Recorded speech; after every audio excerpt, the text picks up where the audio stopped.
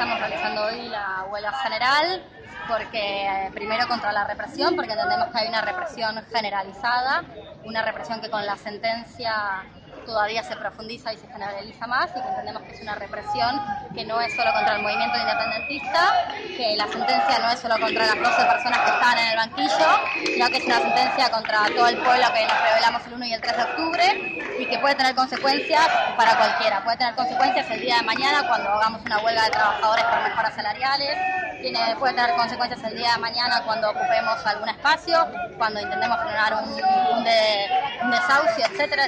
Nosotros entendemos que la represión afectará en general a todas las luchas sociales y por eso también esta huelga es contra la represión y evidente también, evidentemente también por todos los reclamos sociales que todavía siguen pendientes, porque para nosotros no hay la lucha antirrepresiva separada de la lucha social, la lucha represiva es la misma que la social, es la misma que la nacional, así que por nuestros derechos sociales, también por nuestras libertades, por eso estamos haciendo hoy la huelga general.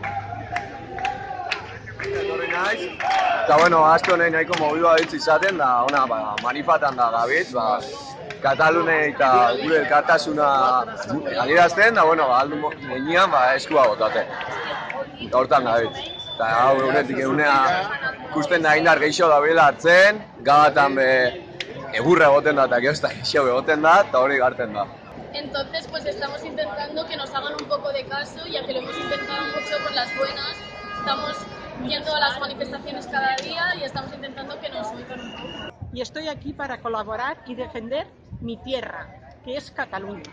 Y estoy colaborando aquí con lo que pueda y dispuesta a que me den un porrazo o un tiro y que me lleven al hospital.